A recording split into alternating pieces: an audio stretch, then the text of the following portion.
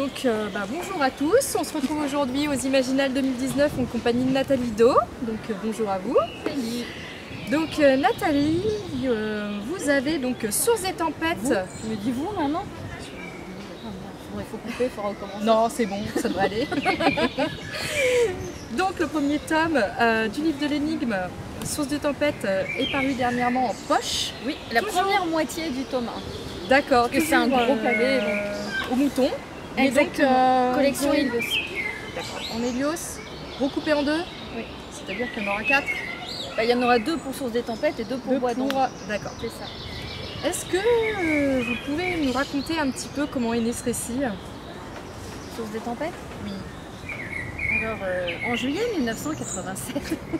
Donc, euh, ça remonte. Étais- Étais-tu née seulement Oui, oui, oui, Quand tout à fait. Ouais. Donc en juillet 1987, euh, j'ai commencé à, à développer cet univers et puis, euh, et puis voilà, et à écrire des tonnes de trucs qui se passent dedans. Et puis ben, un jour, euh, j'ai trouvé comment faire rentrer les gens dedans et j'ai donc écrit cette histoire et, et voilà. Elle a fini par arriver après euh, moult pérégrinations. Péripéties. voilà, jusque, jusque entre les, les mains de, de André François et je suis euh, super, super contente de, de publier chez les Mettons. Parce que je crois que c'est vraiment l'éditeur qui est en adéquation avec le, le style d'écriture Qui correspond, qui correspond le mieux en tout cas, euh, parce que mon, rythme, euh, mon vocabulaire à l'écrit, je suis beaucoup plus à l'aise qu'à l'oral. Euh, ma musique, enfin, toutes ces choses-là. Façon de faire des métaphores, de, jouer avec, euh, avec les avec l'inconscient, avec, euh, les archétypes, euh, tout en refusant d'être manichéen et, et- en essayant de prendre certains clichés à contre-pied. Qu'en apparence, ça a l'air d'être de la fantaisie classique, mais si on creuse, ça n'en est pas. Et mais- voilà. Et, et tu peux nous parler un petit peu euh, de cette fantaisie qui n'est pas si classique que ça? De quoi, Bah, de par, ça exemple, parle? par exemple, euh, traditionnellement en fantaisie, quand euh, quelque chose revient et que tout le monde veut l'empêcher, c'est parce que c'était un mal multimillénaire qui avait été scellé, puis les sceaux sont en train de lâcher, peut-être parce que justement les, les gens n'y croyaient plus, c'était entré dans le domaine de, de la légende, et puis bah, si, si, ça revient, il faut, il faut absolument l'empêcher, c'est le grand enjeu. Chez moi, la loi et le chaos, qui traditionnellement sont antagonistes, se sont associés pour se débarrasser de l'équilibre qui, euh, lui, lui, son rôle, ça a toujours été d'essayer d'empêcher que l'un éradique l'autre, que l'un des extrêmes éradique l'autre. Parce que l'équilibre considère qu'il faut de tout pour faire un monde. C'est le yin et le yang. C'est euh, C'est la balance. voilà, euh, c'est- vraiment, c'est le, c'est vraiment le, le- le- le zéro qui est à l'intérieur de l'infini moins et l'infini plus. Tu vois cet axe où tout, tout, tout, l'équilibre il est à, la jonction de tous les axes et, euh, et plus tu t'en éloignes, plus tu vas vers les extrêmes qui sont infinis. Mais, mais ce- ce- si tu supprimes un des deux extrêmes, l'axe n'existe plus. Le monde s'effondre. Donc l'équilibre, il est là, dit si on, si on veut que ça, ça continue, si on veut pouvoir tracer notre courbe de fonction, il nous faut les, les- Les deux côtés. hein. Bon, donc euh, la loi et le chaos se sont associés en disant euh, on va se débarrasser de l'arbitre, et parce que chacun est persuadé euh, à l'intérieur, il ne le dit pas bien sûr, qu'il est, il est plus fort, il est le meilleur, et que si on n'a plus l'arbitre, c'est lui qui va gagner et qui va éliminer l'autre. Parce que ce sont des, des- des parcellaires. Ils ne voient que leur point de vue, que leur nombril. Et, et donc ils, ils se sont associés, ils ont éliminé l'équilibre. Mon, mon roman commence quand ils pensent avoir gagné, donc du coup c'est ils n'ont pas encore euh, repris les hostilités. Mais euh, ils n'ont pas gagné. Je vais vous montrer comment l'équilibre revient, comment il va devoir changer de, forme parce que l'ancienne forme elle, est, elle a été perdue, donc euh, une forme peu plus euh, durable. Et, euh, puis bah, tout le monde va essayer encore là, de l'empêcher de revenir. Pourtant, c'est pas un mal multimillénaire, c'est ce dont la planète a besoin pour, euh, pour être un monde vivant finalement. Vas avoir des héros qui vont essayer de, de rétablir l'équilibre. J'ai un héros qui essaye de rétablir l'équilibre, évidemment, euh, il n'est pas spécialement aidé. Vous pouvez nous parler un petit peu de lui C'est euh, le fils d'un mage bleu? C'est Seredan. Seredan qui est, euh, qui est, qui est le, c'est le, deux- le plus jeune des deux frères, qui sont tous les deux euh, fils de, de cet ancien mage bleu qui a été, euh, qui a été euh, mutilée magiquement, puisqu'on l'a privé à la fois de ses pouvoirs magiques et de sa capacité à se, reproduire. Mais il avait anticipé, donc, il y avait un fils qui a été conçu sans qu'il le sache, qui est l'aîné, qui n'a aucun pouvoir magique, c'est pour ça d'ailleurs qu'il est toujours en vie. Parce que quand les autres mm. se sont dit ah, ah il est réfractaire, on ça va, on craint rien, euh, on peut le laisser vivre. après ils vont changer d'avis, il y en a qui vont quand même essayer de, l'éliminer.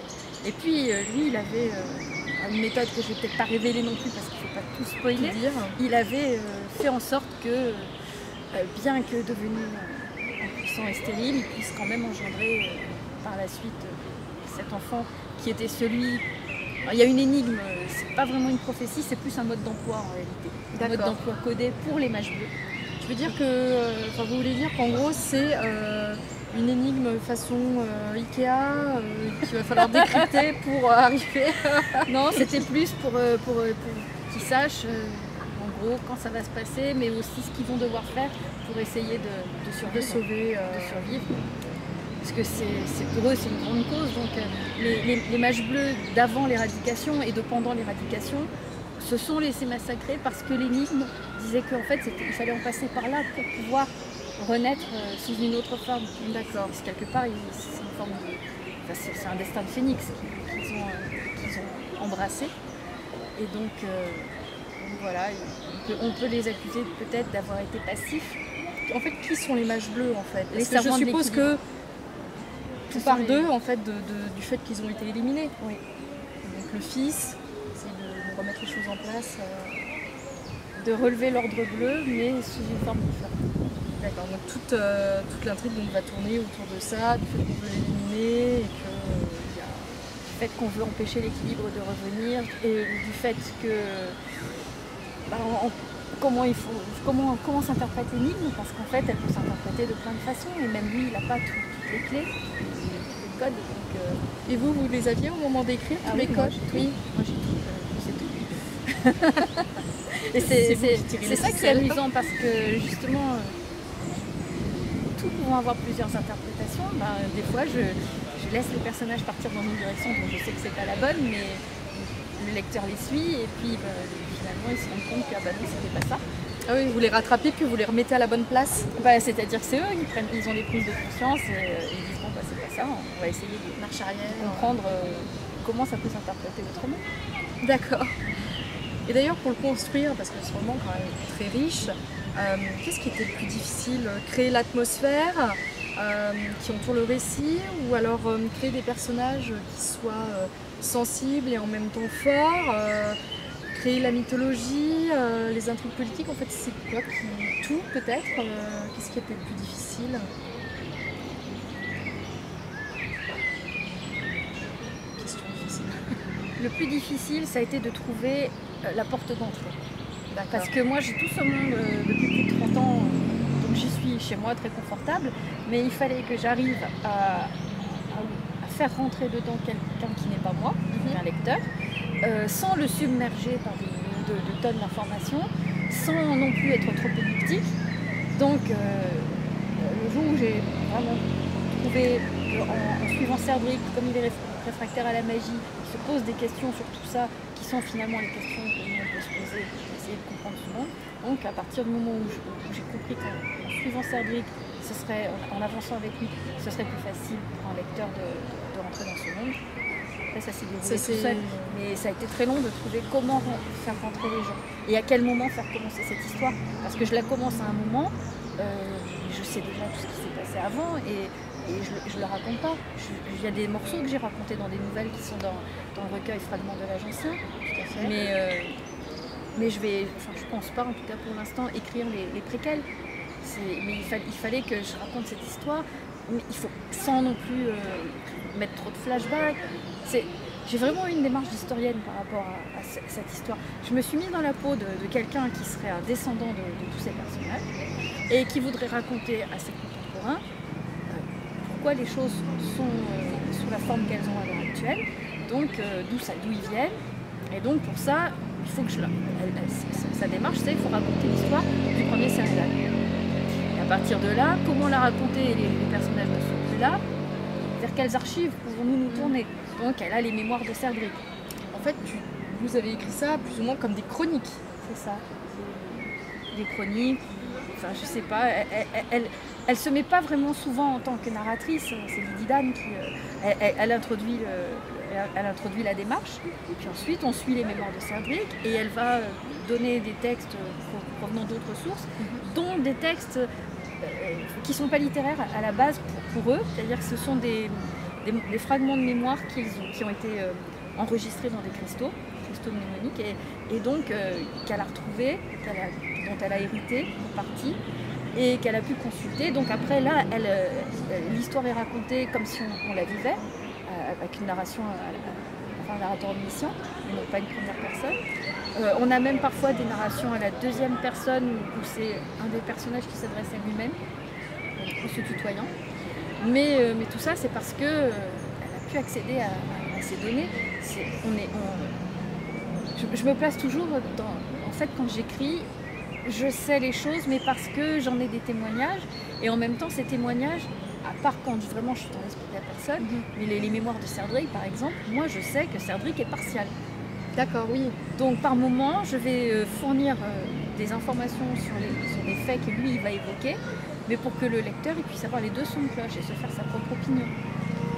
Et les lecteurs, est-ce qu'ils ont la même opinion à chaque fois Je ou- sais pas, ils me le disent pas, ils me pas trop me, Oh, me détailler. ce qui... ce- comment ils le ressentent. voilà, bah, Et pour le travail sur ce roman, euh, vous avez euh, pour les recherches, vous avez fait beaucoup de recherches.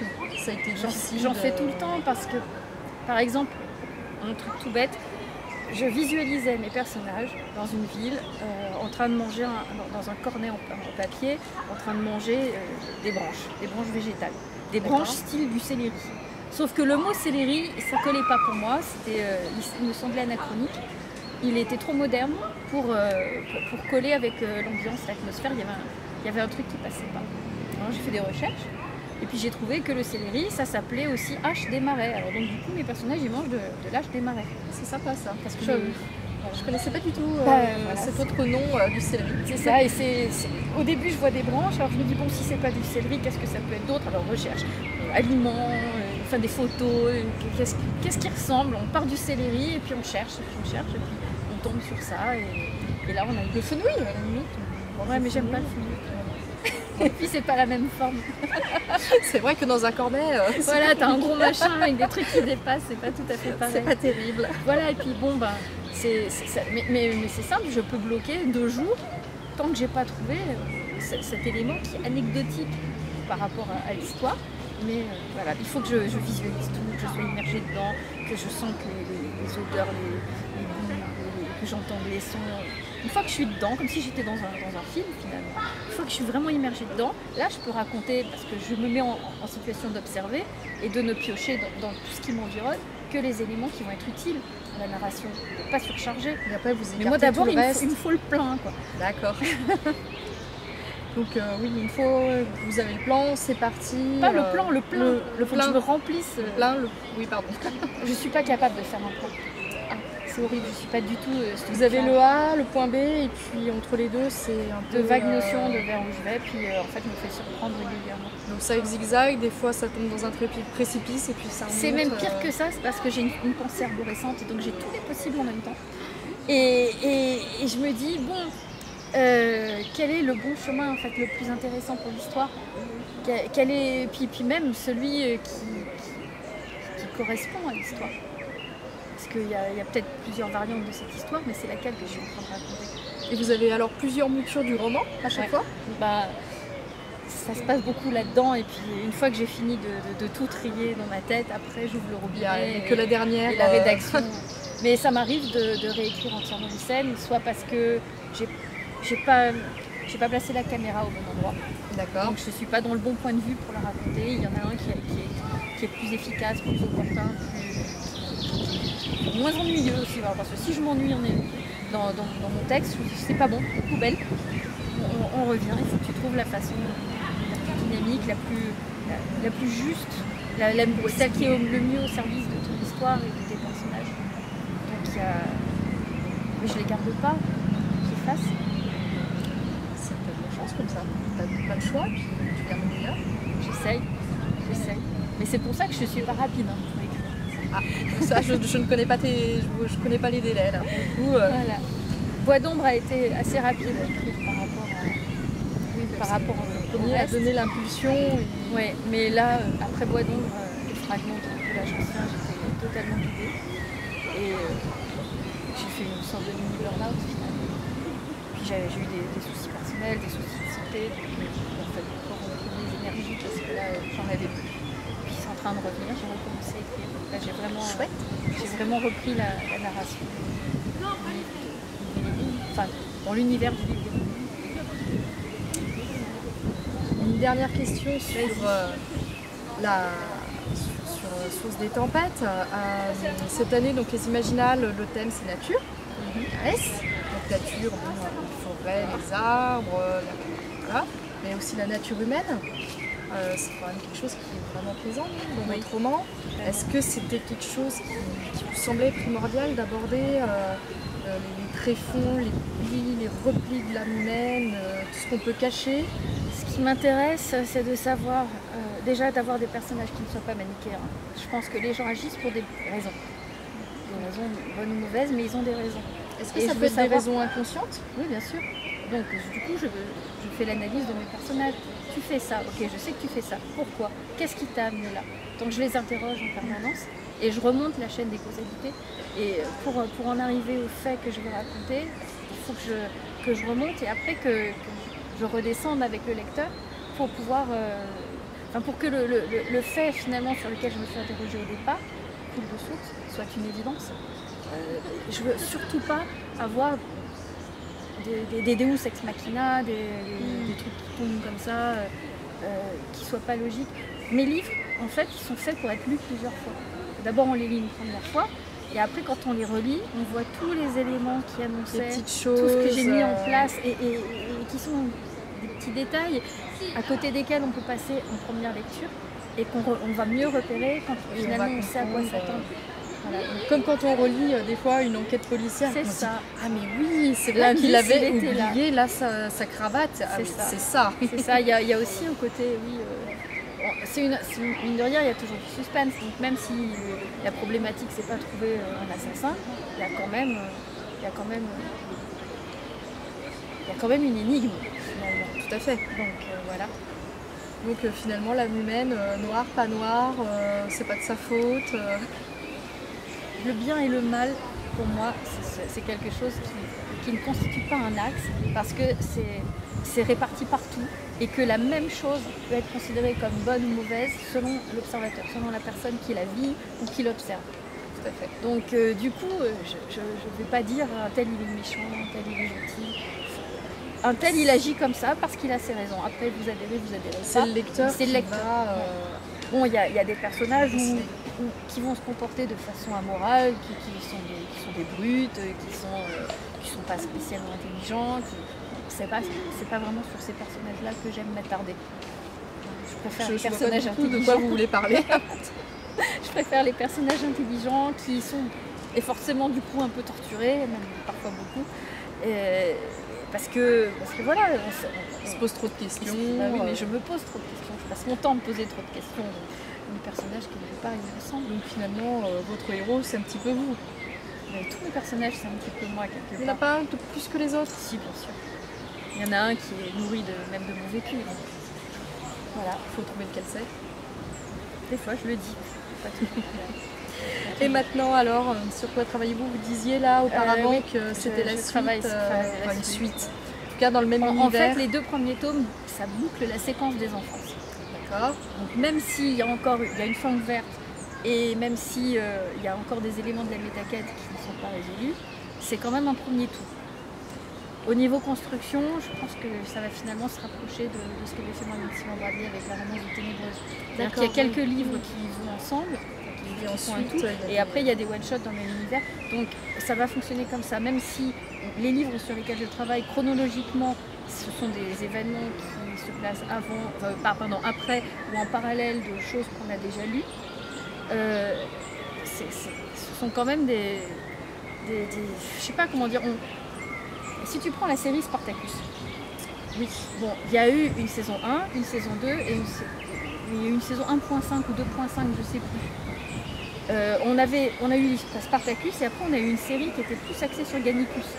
Oui, il y a des petits focus en fait sur d'autres personnages. euh, Et après on, a- on est revenu euh, sur une saison qui... euh, parce que c'est vraiment des saisons. là. Et, et dans la série, on est revenu sur une saison où là, on a, on a eu ben, Spartacus, Critius, Gannicus, enfin ils étaient tous, tous présents. Mais en même temps, dans la saison avec Gannicus, on voit pas du tout Spartacus. Et pourtant, on est toujours dans la série Spartacus. Et ben, c'est un peu comme ça, quelque part, que ce que je prépare. Euh, on, va, on verra quand même, euh, on verra quand même mais ce sera vraiment en toile de fond. bah, C'est-à-dire que lui... Comment on parle Euh, Bois d'ombre, à la fin, bah, Saredan va, va dans Bois d'ombre et puis il en sort. Et on ne sait pas réellement tout ce qu'il a vécu. On en sait un petit peu dans, dans le roman, mais on ne sait pas tout. Quand on quitte le roman, bah, lui, euh, pour lui, d'ombre, c'est une épreuve Terminé. terminée. À autre Et il, chose. va, il va passer à autre chose. Mais mon, le livre sur lequel je travaille actuellement, ça commence dans Bois d'ombre avec lui, parce que quand il est là-bas, dans les choses que je n'ai pas dites dans le, le- le roman Bois d'ombre, euh, il apprend des choses sur le fils aîné de l'âge ancien, qui est un des enjeux de l'énigme, c'est de le retrouver et, et de lui demander finalement de, de s'associer à Mm. Saredan pour, euh, C'est une quête annexe. voilà, c'est une sorte de quête annexe qui euh, et, et finalement dans le livre que je suis en train de raconter, on va comprendre pourquoi quand je reprendrai euh, directement ce qui vient après Bois d'ombre, c'est-à-dire euh, ce que fait Seridan au sortir de tout ça, ben, on va comprendre pourquoi dans, dans le livre qui est un peu euh, à part finalement, pourquoi il va pas chercher ce fils aîné de l'âge ancien parce qu'il a déjà eu toutes les réponses. Sauf qu'il va peut-être pas trop en dire, hein, parce Voilà. que il est pas. Je, je pense que dans l'article, on va, on va dire attention, Spoiler. les dernières minutes, spoiler. Après, je sais pas encore parce que moi, je suis en phase de, en phase d'écriture, en phase de réflexion. Après, je vais soumettre à mon éditeur et puis il va me dire si ça, si ça fonctionne, si ça fonctionne pas. Il va me corriger, il va me demander de, sûrement de, de développer des choses, euh, d'en changer peut-être, je sais pas. De toute façon, moi, je lui fais confiance, donc euh, jusqu'à présent, il- ça s'est toujours super bien passé. Il a toujours été d'excellents conseils et, et donc voilà. Mais pour l'instant, moi, je suis encore euh, à l'état brut hein, sur cette ouvrage. Et bien donc on Bah, va attendre avec impatience. J'ai parlé de mes intentions. Euh, je ne sais pas si le résultat final, ça, ça sera ça ou si je vais devoir changer des éléments de la copie. On verra bien Là, donc. À peine de redémarrer la phase d'écriture. D'accord. On attend avec impatience. Merci. Et ben merci beaucoup d'avoir répondu à ces quelques questions. Merci. Bon salon à vous. Merci.